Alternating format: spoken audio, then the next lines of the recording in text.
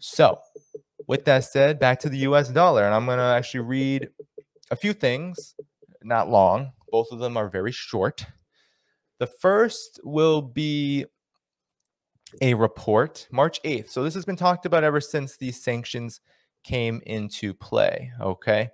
So, ever since the sanctions came sanctions came into play and the gas prices started rising in the Europe, right, is so worried, right? Uh, the whole capitalist economy is worried about the long-term effects of this. The short-term gains, great, right? There's a lot of enthusiasm among fossil fuels, among military contractors for these sanctions because sanction sanctioning Russia creates ample opportunities to monopolize the energy market. And also, what does the military industrial complex rely on? Energy. So they love that these weapons systems and military aid is being increased. And of course, the military contractors love that because it's their weapons that are being sold at egregious prices to Ukraine's government, which I'm sure will help also bankrupt Ukraine, as has been the case since 2014. But nonetheless, this is March 8th, and Reuters was already reporting that uh, Credit Suisse's Pozsar says commodities crisis could weaken the euro dollar and boost the yuan, which is the RMB, the currency in China. So they said that China's central bank is uniquely placed to backstop a global commodities crisis sparked by sanctions imposed in response to Russia's invasion of Ukraine, potentially paving the way for a much stronger yuan, a Credit Suisse investment strategist said.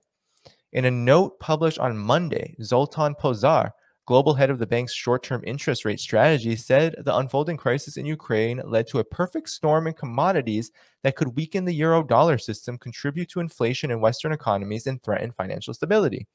This crisis is not like anything we have seen since President Nixon took the US dollar off gold in 1971, the end of the era of commodity based money. When the crisis and war is over, the US dollar would should be much weaker. The uh, renminbi, the RMB, much stronger, backed by a basket of commodities. Russia's invasion, the biggest attack on a European state since World War II, has nah, let's not, has created 1.7 million refugees, fears of wider conflict. Okay, I, can we can we redact that? It's not the biggest attack on a European state since World War II mainly because Europe is not, I mean, Ukraine is not considered European. And whatever happened to Yugoslavia, because Yugoslavia is technically in Eastern Europe and was destroyed to a much greater degree, believe it or not. But believe it, because in 1999, NATO's bombing devastated tens of thousands mass there were refugees but it was mainly like a mass it was a mass killing and a destruction of the society. But anyway i digress. So the conflict has driven surges in commodity prices including nickel prices to a record high and oil to a 14 year peak. Russia has warned a ban on russian oil imports could jolt the cost of a barrel to $300 so that's what you have. You have russian commodities today are like subprime collateralized debt obligations were in 2008 Non Russian commodities are like US Treasury secretaries back in 2008, one collapsing in price, the other surging in price, with margin calls on both, regardless of which side you are on. Western central banks held back by sanctions imposed uh, by their governments will not be able to provide support such as emergency liquidity needed to close market gaps, he said, noting that the People's Bank of China faced no such restrictions. So there you have it. They're not going to close the market gaps because, well, they don't actually say why. Oh, they say because they're held back by sanctions imposed by their own government. So there you have it. These sanctions are so counterproductive that they won't allow European European economies to relieve the situation. And that's because they're really cutting off such major parts of the global economy that this is the limitations of capitalism. It's the limitations of imperialism, really. You can only divide the world so much. You can only monopolize the world so much, the world economy so much until you reach this limit, this endpoint where now something needs to change, to transform, to reverse course. But of course, if we know anything about capitalism, it doesn't really have the capacity to reverse course. It just continues to develop as it is designed to do. It does not go backward. It does not say, okay, we need to go back to an industrialized economy. No, that's because the inherent character of the for profit motive, of the motive of private property, prevents it from doing so, right? Because any reverse means that you got to give back. And that's not the principle or the design of capitalism. And that's why you see these crises continue to happen. So here you have that, you know, the US, the US and European economies are not really structured to ensure that commodities can be controlled, the prices can be controlled despite the sanctions. And he said that selling US treasuries to fund vessel leasing and purchases of cheap Russian commodities would help the People's Bank of China control inflation in China while leading to commodity shortages, recessions, and higher yields in Western economies. So basically, what he is saying is that China will continue to economically do business with Russia. And so it can, through its own currency,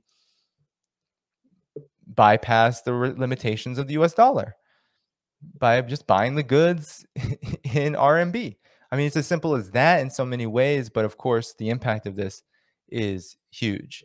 And so the birth of the euro renminbi market in China's first real break step to break the hegemony of the euro dollar market. That's what this person is saying that it, this would be a break in the US dollar and its domination of Europe. And the inflationary trend for the West means less demand for long-term treasuries. So yeah, I mean that's just that's just obvious, right? The higher the prices get, the less people are going to buy. The less people buy, the more that the capitalist market is glutted, overstuffed, and the more likely you're going to get an economic crisis. And so that's what you have here. You have the United States precipitating this. And I just want to say thank you to uh, Nurse Hemp. Appreciate it. Unfortunately, YouTube takes all of these super chats. I turn them on. They take them all for the first hundred dollars, and then they take a huge percentage. So if you do can divert those super chats into Patreon, patreon.com slash Danny Haiphong, you know, even just just divide it up like one dollar a month, two dollars a month. It's so much better. But I appreciate I appreciate all of the support nonetheless. So I want to get into a few other developments with this. So the move to the dollar is also being content the move to the RMB is being contemplated by Saudi Arabia, a country that is long known as a deep partner of the United States.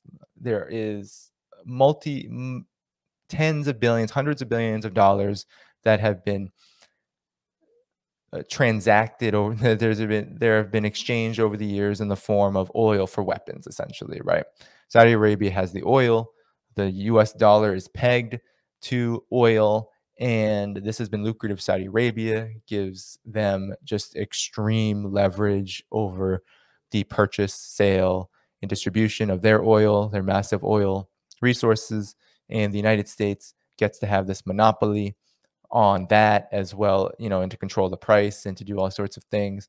And so this relationship is very, very lucrative and is really at the heart of the US dollar's strength in a lot of ways. And so that's why the United States supports Saudi Arabia to the degree that it does. It literally funds and militarizes Saudi Arabia to the teeth to keep its extremely brutal regime. I mean, we're talking about a political system in Saudi Arabia, a monarchy, which beheaded 81 people in a single day within the last week or week and a half or so.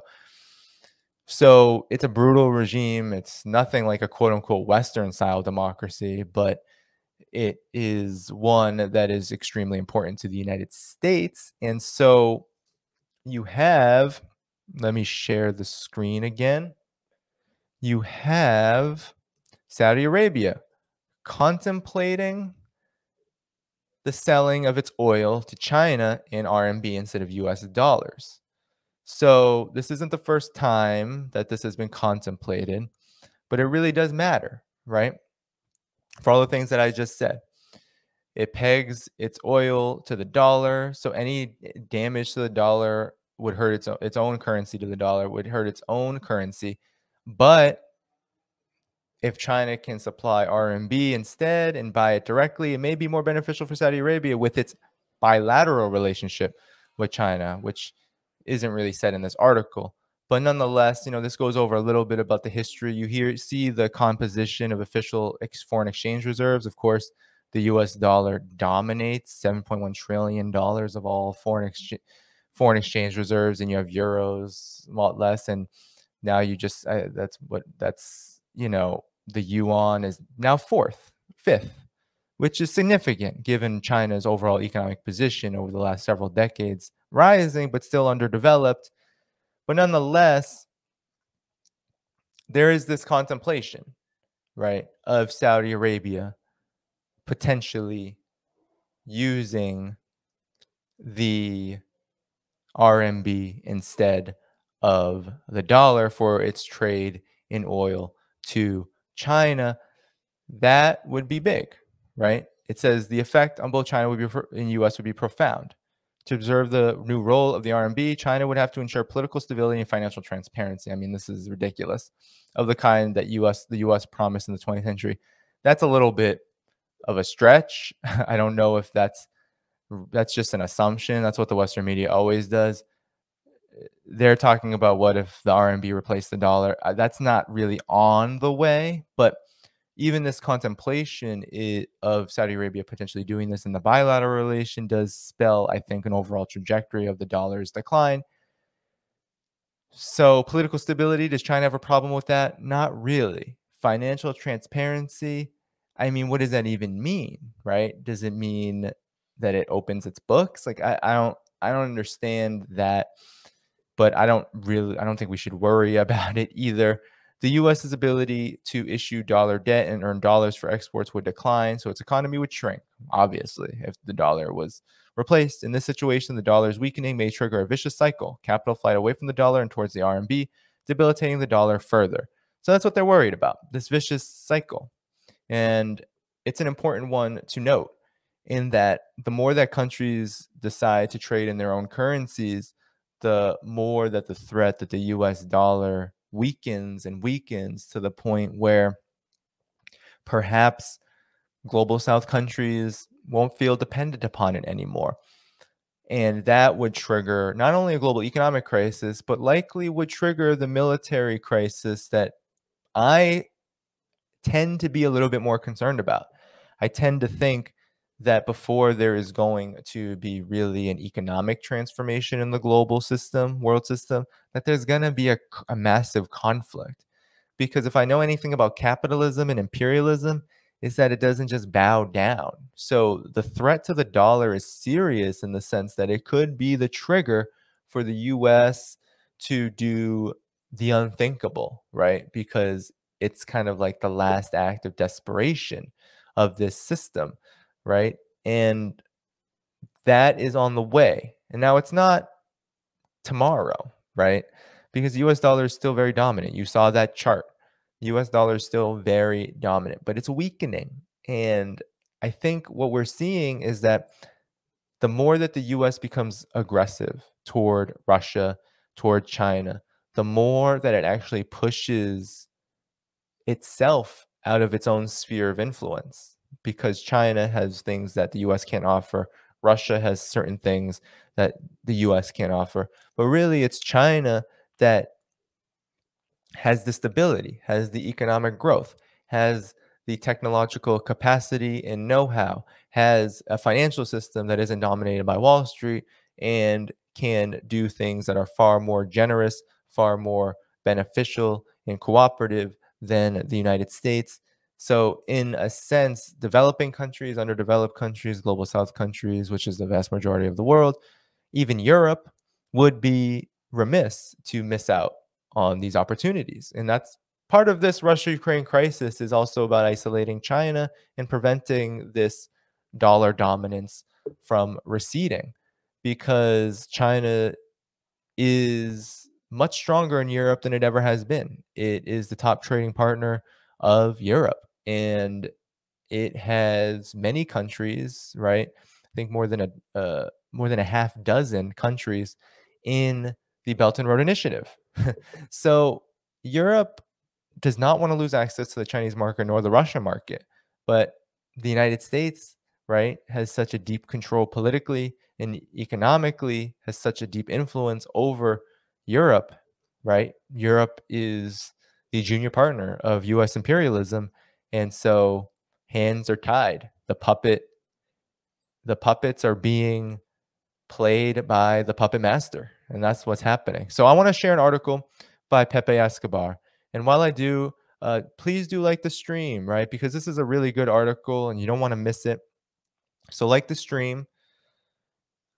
Please share the stream. Please subscribe to the channel, hit the notifications bell, and I really do encourage in lieu of like super chats. Once once once we get, you know, through this period of YouTube taking everything, then maybe I'll encourage it a bit more. But uh, please do subscribe at whatever amount at patreon.com slash Danny Haiphong. That's the best way to support this channel and this work.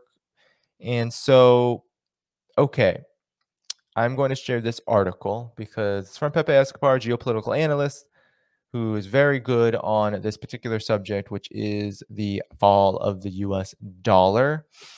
And he wrote this article just a few days ago, published it a few days ago and it's titled Say Hello to Russian Gold and Chinese Petro Yuan. The Russia led economic, Eurasia Economic Union and China just agreed to design the mechanism for an independent financial and monetary system that would bypass dollar transactions. So there you have it. This, this the mechanisms are coming into place. While we're not there yet, these countries are are moving they're moving and shaking. They're not standing still and waiting for the United States to destroy them. That's just not going to happen. That's part of the, why this multipolar world is developing. They're not going to wait for the United States to collapse and uh, do the unthinkable, right? These military assaults, the militarization, all of it, the sanctions, all of it is an, a deep threat to their very existence. So, Pepe says this is a short article, so I'll probably read it in full. It says it was a long time coming, but finally, some key alignments of the multipolar world's new foundations are being revealed. On Friday, after a video conference meeting, the Eurasian Economic Union and China agreed to design the mechanism for an independent international and financial, uh, international monetary and financial system. The EAEU consists of Russia, Kazakhstan, Kyrgyzstan, Belarus, and Armenia. Is establishing free trade deals with other Eurasian nations and is progressively interconnecting with the Chinese Belt and Road Initiative, BRI.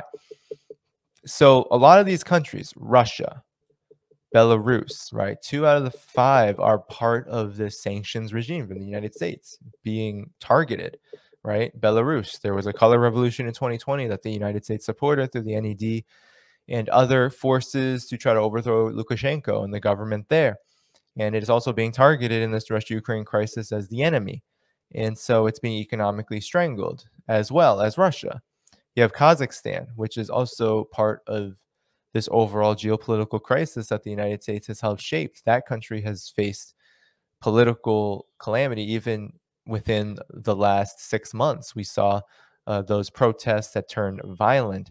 And of course, you have Kyrgyzstan and Armenia already in pretty weak economic conditions. So, this Eurasian Economic Union makes a lot of sense, and it's led by Russia and includes hope, what they hope will be a growing sphere of East Europe and Eurasia. So, for all practical purposes, the idea comes from Sergei Glaziev, Russia's foremost independent economist, a former advisor to Vladimir Putin and Minister for Integration and Macroeconomics for the Eurasia Economic Commission, the regulatory body of the EAEU. Glaziev's central role is devising new Russian and Eurasian economic financial strategy has been examined here. He saw Western he saw the Western financial squeeze on Moscow coming to light coming light years before others. Quite diplomatically, Glaziev attributed the fruition of the idea to the common challenges and risks associated with the global economic slowdown and restrictive measures against the EAEU and states and China. Translation As China is as much a Eurasian power as Russia, they need to coordinate their strategies to bypass the unipolar US system. The Eurasian system will be based on a new international currency, most probably with the yuan as reference, calculated as an index of the national currencies of the participating countries, as well as commodity prices. The first draft will be ready to be will be already discussed by the end of the month. The Eurasian system is bound to become a serious alternative to the US dollar, as the EAEU may attract not only nations that have joined BRI, Kazakhstan, for instance, is a member of both, but also the leading players in the Shanghai Cooperation Organization as well as ASEAN. West Asian actors, Iran, Iraq, Syria, Lebanon, will inevitably be interested. In the medium long term, the spread of the new system will translate into the weakening of the Bretton Woods system, which even serious US market players, strategists admit is rotten from the inside. The US dollar and imperial hegemony are facing stormy seas. So we're going to continue, but I think that's just very astute, right? This is this is a trend that we have to pay attention to. The Eurasian Economic Union, it's something that I have been following since the Obama era and the Belt and Road Initiative, right? They they formed relatively during the same time period as Russia and China were getting closer together. They have a lot of commonalities regionally, of course. They have different focuses, of course, right? Eurasia and China is is not as broad as China's Belt and Road Initiative. The EAEU did not have the same kind of expansive ideas for infrastructure development, but roughly the the aim is the same. It's about integration. It's about developing these economies which have been so underdeveloped in the post-Soviet era. It's about reducing dependency on Europe and the United States while also trying to connect to those markets. It isn't a hostile act, so to speak. A lot of it is just about strengthening economic development through trade networks and through the development of the infrastructure needed to conduct trade, whether that's railways, whether that's pipelines, right? And so uh, we all know if you follow Pepe Escobar that he is big on the pipeline circuit. He talks about Pipelineistan. He talks about how through these post-Soviet republics and Russia and China, there's a lot of pipeline activity happening to try to subvert and circumvent dependency on oil and gas from outside and to try to integrate which makes a lot of sense trying to integrate these resources that each country has these economic development opportunities that each country possesses into a full-fledged global trade network. And that makes a lot of sense right? You shouldn't have to ship you shouldn't have to ship oil and gas from far-flung parts of the world when you have it right underneath you. You should you shouldn't have to spend all sorts of money uh, in in your trade relations with other countries when there's infrastructure that could be built to both shorten the time that it takes to get commodities across and certain raw materials and resources across eh, with your own neighbors right? And that that's that's what's been stripped from a lot of underdeveloped and post so-called colonial nations neo-colonial nations. What's been stripped of them is the opportunity to really develop their economies in a sovereign way in league with their neighbors because they have been dominated by European, US financial institutions, dominated financial institutions, and they have been dependent upon imperialism to develop their economies, which has impoverished them and led them to economic catastrophe. And so these integration networks and trade agreements, etc., do threaten the continued viability of all that, right? This Western dominated imperialist order. If these countries can figure it out together, then there is more of a risk for the United States that, yeah, the dollar and all these other dependencies are dropped, but the dollar being a huge one that really, I think, brings it all together. So show me that frozen gold. Meanwhile, Russia has a serious problem to tackle. This past weekend, Finance Minister Anton uh, Siluanov, I really can't speak Russian, uh, Siluanov confirmed that half of Russia's gold and foreign reserves have been frozen by unilateral sanctions. It boggles the mind that Russia's financial experts have placed a great deal of the nation's wealth where it can be easily accessed and even confiscated by the empire of lies. At first, it was not exactly clear what he meant. How could the central bank's uh, Elvira Nabiullina and her team let half of foreign reserves and even gold be stored in Western banks and or vaults? Or is this a sneaky diversionist tactic by Siluanov? No one is better equipped to answer these questions than the, ines- than the inestimable Michael Hudson, the author of the revised version of Superimperialism, the economic strategy of the, of the American empire. Hudson was quite frank. When I first heard the word frozen, I thought this meant that Russia was not going to expend its precious gold reserves on supporting the ruble, trying to fight against a Soros style raid from the West. But now the word frozen seems to have meant that Russia had sent it abroad outside of its control. It looks like, at least as of last June, all Russian gold was kept in Russia itself. At the same time, it would have been natural to have kept security and bank deposits in the United States and Britain because that is where most intervention in world foreign exchange markets occur, Hudson added. Essentially, it's still up in the air.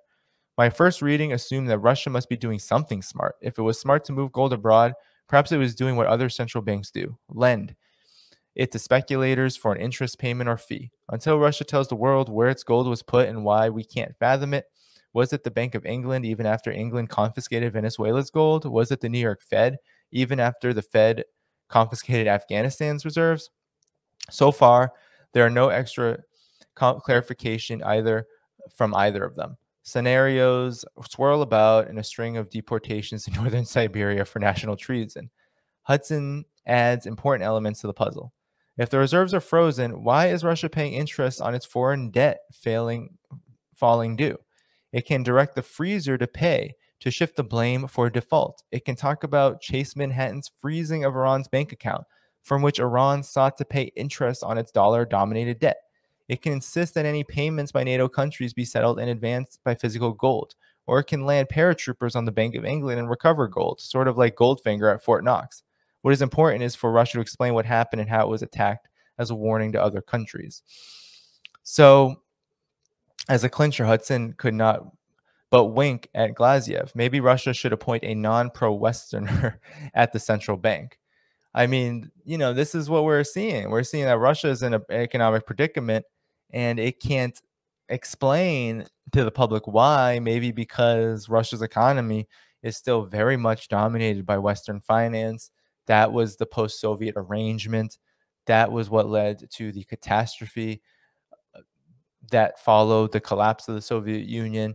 And so we have to also understand that while Russia's economy had a lot of sovereign aspects to it, and to the credit of United Russia and Vladimir Putin, there were moves to ensure that the worst excesses of the oligarchic control of the economy and the wholesale just uh, theft of assets was stopped it looks like there were still there's still problems and that is what capitalism does. That's why that's a difference between china and most of the world right? Most of the world unfortunately in some respect whether it is a neo-colonial arrangement whether it is this kind of situation that russia is in where it's a multipolar rising power but still caught in between.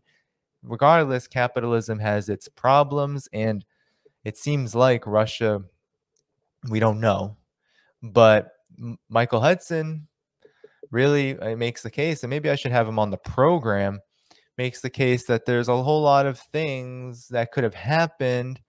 And maybe it was lending it out to speculators for interest. Maybe it was moving the gold abroad, abroad because that's just that was just a more convenient thing to do, cheaper, more return. It's hard to say. So we'll see. Maybe it'll come out later.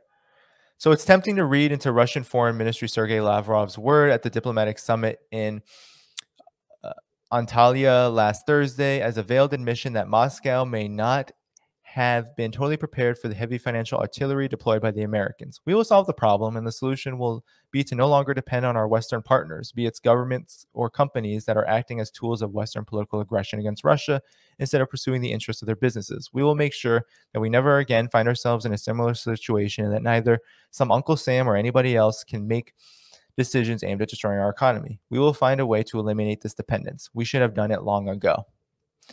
Some so long ago starts now, and one of its planks will be the Eurasian financial system. Meanwhile, the market, as in the American speculative casino, has judged, according to self made oracles, that Russia's gold reserves, the ones that stayed in Russia, cannot support the ruble. That's not the issue on several levels. The self made oracles, brainwashed for decades, believe that the hegemon dictates what the market does. That's mere propaganda. The crucial fact is that in the new emerging paradigm, NATO nations amount to, at best, 15% of the world's population. Russia won't be forced to practice autarky because it does not need to. Most of the world, as we've seen represented in the hefty non sanctioning nation list, is ready to do business with Moscow.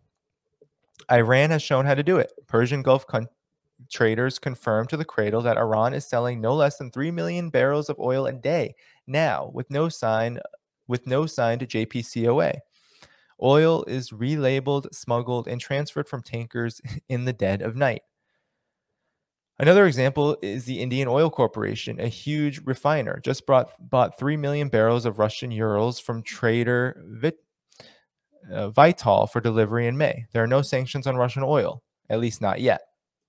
So there you go. You know, you have this development, right, where countries are saying that they're going to keep trading with Russia. Washington's reductionist Mackinderist plan to manipulate Ukraine as a disposable pawn to go scorched earth on Russia and then hit China. So essentially, a divide and rule to smash not only one, not one, but two peers in Eurasia who are advancing in lockstep as comprehensive strategic partners. As Hudson sees it, China is, cross, is in the crosshairs, and what happened to Russia is a dress rehearsal for what can happen to China. Best to break sooner than later under these conditions because the leverage is highest now. All the blather about crashing Russian markets, ending foreign investment, destroying the ruble, a full trade embargo, expelling Russia from the community of nations, and so forth. That's for the zombified galleries. Iran has been dealing with the same thing for decades and has survived. For four decades and has survived. Historical poetic justice, as Lavrov intimated, now happens to rule that Russia and Iran are about to sign a very important agreement, which may likely be an equivalent to the Iran China strategic partnership. The three main knowns of Eurasia integration are perfecting their interaction on the go and sooner rather than later, maybe utilizing a new independent monetary and financial system. But there's more poetic justice on the way, revolving around the ultimate game changer, and it could come sooner than we all thought. Saudi Arabia is, accept, is considering accepting Chinese yuan, not US dollars, for selling oil China. Translation Beijing told Riyadh, This is the new groove. The end of the petrodollar is at hand, and that is the certified nail in the coffin of the indispensable hegemon. Meanwhile, there's a mystery to be solved. Where is that frozen Russian gold? So, I mean, that's just a very good article. I think I reached 200 viewers just re- a, a while ago, but I'm not going to even get into that. Just keep liking the stream, keep subscribing to the channel, keep supporting the work. Patreon.com slash Danny But that was a very good article. That article, essentially from Pepe Escobar, lays it all out. Russia is not going to be isolated in the way that Washington thinks it is. This is the problem with US imperialist hegemony. The US really does think that it is the ruler of the world, that it rules the world and dominates the world, and anything that it says goes. And that's just not the case anymore. The multipolar world is here. And that has huge economic ramifications, as he laid out so eloquently and so briefly and so concisely.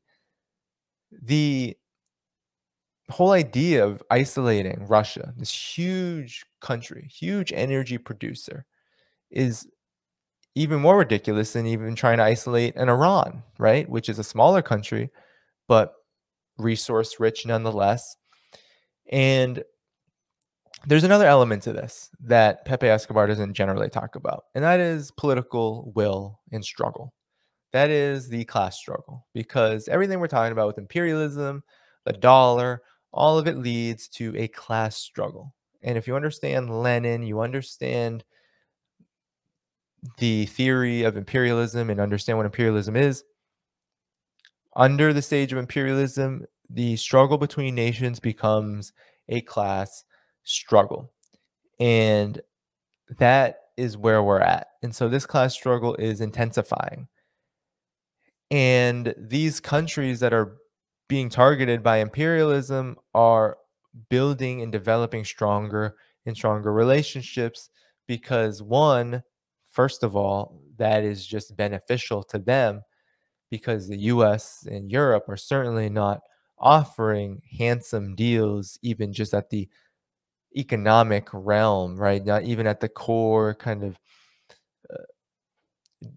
baseline economic realm. There's not anything really incredible coming down the road for the global south as a whole for underdeveloped countries and countries with experiences of colonialism and underdevelopment so there's that fact, right? That's just independent of militarism. But then you add the bullyism, the sanctions, the hegemonism, you add that into the equation and it, it just accelerates everything. And so this is very characteristic of imperialism. Imperialism is built on these kind of contradictions, right? it, it, the more it grows and attempts to assert dominance, actually, the more it digs its own grave. So it'll be really interesting to see how things develop here because this monetary system created by the Eurasian Economic Union could certainly bring just I think a whole lot of flexibility to the world situation it could give countries, these smaller countries in that region, so much more room to breathe. And of course, with China at the center, China's prominence in the development of Eurasia would only skyrocket. Its influence would only skyrocket, given that it is the most successful, it is the most highly developed, it is the uh, most stable of any country in the region and arguably the world, right? This is the high advantage that China has. And so this is a class struggle in the sense that the United States is at war, is in a class war with these countries, and it is bringing that war to a head. It is bringing that war to a very climactic position, which is still developing, right? We still don't know how it's going to play out, but we know that I said it before that Russia has opportunities that the United States underestimates and Europe underestimates because they don't want to publicly acknowledge that the deck that they have in their hands is not as solid as they say